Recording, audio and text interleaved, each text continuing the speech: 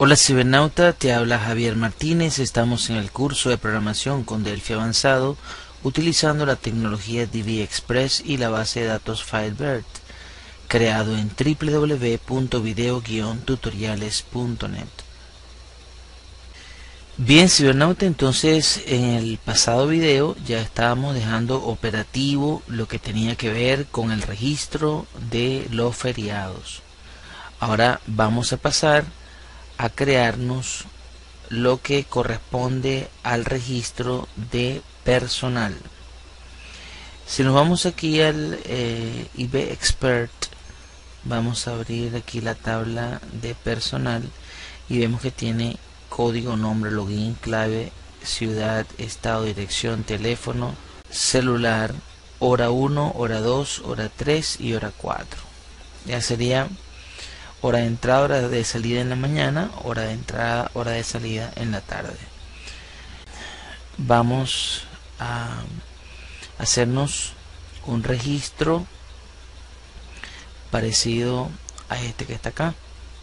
Yo voy a aprovecharme de esta pantallita que ya tengo operativa y vamos a cambiarle las funciones que es lo más rápido, no lo más práctico entonces esto lo guardamos como el uferiados f. Lo guardamos como u personal f. Personal.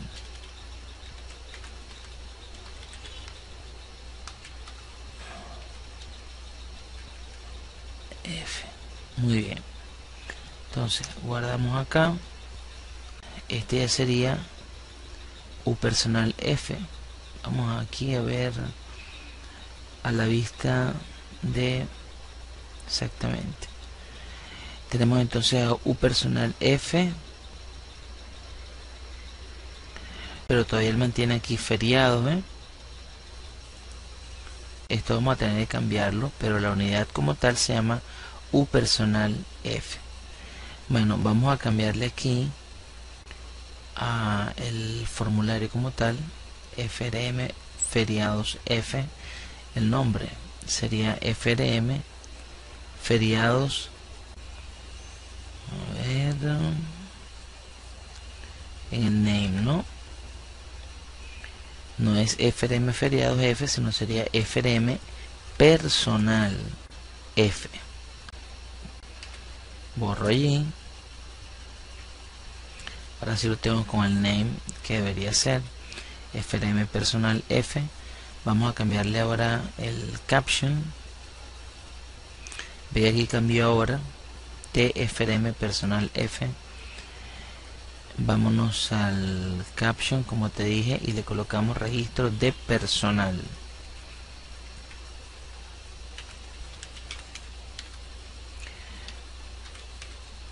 Aquí vamos a tener que jugar un poquito vamos a guardar con lo que son estos controles. Tenemos que cambiar también los nombres cierto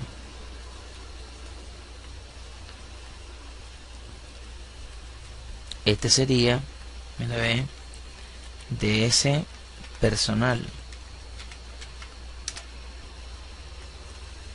Este acá sería nombre cds personal. El provider sería PBR personal. Y el SL, SQL query sería SQL personal. Bien, aquí voy a abrir a uferiados F acá en Open uferiados F para dejarlo por ahí a la mano pero estamos trabajando es con U personal ¿sí? bien entonces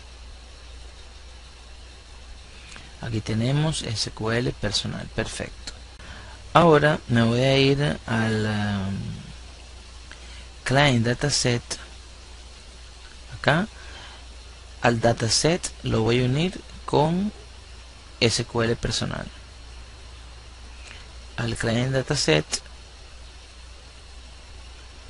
lo voy a unir con el provider name que sería PRB personal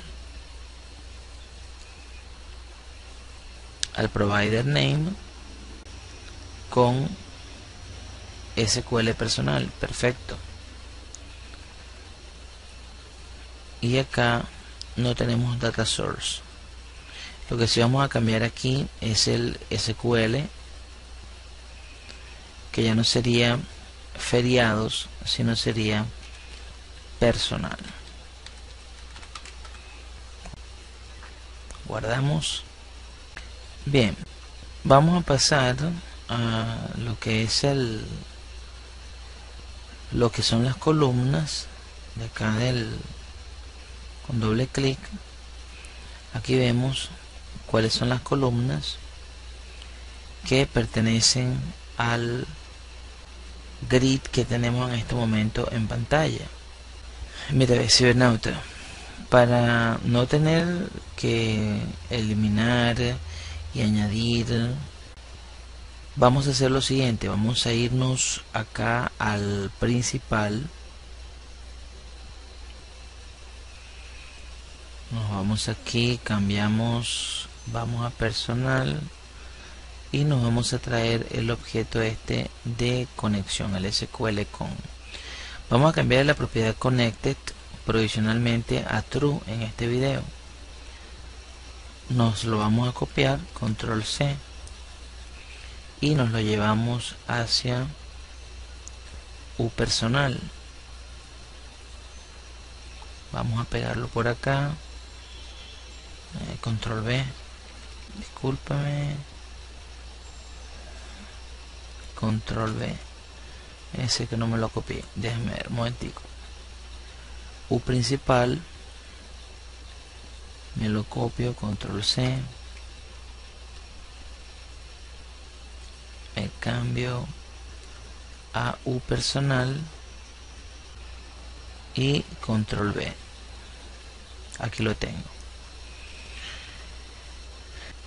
¿Con qué intención es esto, cibernauta? Con la intención de cambiar acá los campos que tenemos acá, ¿cierto? Vámonos aquí entonces, el SQL con, aquí vamos a, al objeto SQL Query, lo vamos a ligar en su propiedad SQL Connection a SQL con. Luego aquí nos vamos al CDS y en la propiedad active le colocamos true. Ah, ok vamos a ver vamos a corregir eso allí vamos a ver aquí. Si le coloco true él me dice la operación no está permitida para un dataset unidireccional.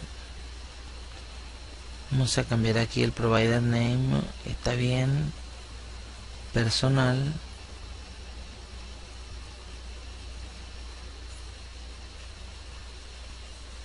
y acá yo lo ligué con SQL personal. Vamos a ponerle en CDS personal. Así es que debería ir el dataset en CDS personal. Ahora sí. Debería funcionar. True ahí está. Listo. Errorcito acá recuérdate que el dataset está ligado a el client dataset. El client dataset está ligado al dataset provider. Y el dataset eh, provider está ligado a el SQL query. Muy bien teniendo esto aquí claro vámonos ahora a hacerle doble clic y a ver los campos. Ve ahora lo que aparece aquí añadir todos los campos. Eso es lo que vamos a hacer. Clic allí en añadir todos los campos. Y entonces me va a preguntar, ¿quieres borrar las columnas existentes? Le digo sí. Aquí lo tengo. Aquí añadí todos los campos. Ahora, es lo que voy a hacer para finalizar este video cibernauta y es borrar este objeto de acá que ya cumplió su comisión y desligar acá. Ok aquí ya no está conectado al SQL connection. Aquí tenemos todos los campos pero me faltaría colocar acá a mi client dataset en active nuevamente en false y ve entonces cómo cambia ahora sí se ve código nombre login clave todos los campos pues como se debe ver. Bueno lógicamente vamos a tener que ir cambiando cada uno de estos campos y eso a la vez va generando el código necesario.